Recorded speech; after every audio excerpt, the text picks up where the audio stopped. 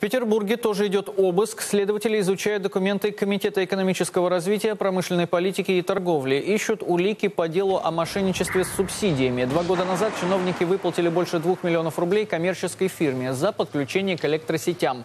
Но отчетные документы оказались поддельными.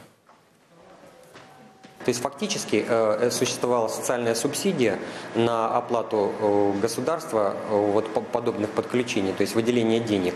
Предоставлялись документы, но на самом деле эти подключения не производились. Дело возбуждено против сотрудников фирмы, а о должностных преступлениях городских чиновников речь не идет, подчеркивают следователи. Не исключено, что мошенники систематически получали деньги от государства, предоставляя поддельные отчеты.